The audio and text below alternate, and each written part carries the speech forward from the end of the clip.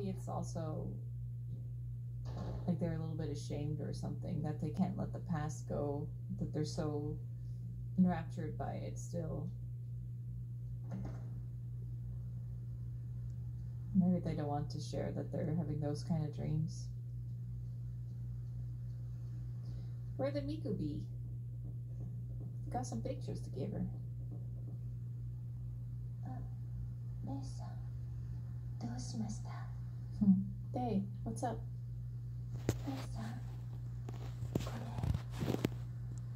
Here you go. I thought this might have some connection to the photo of the shrine carpenter.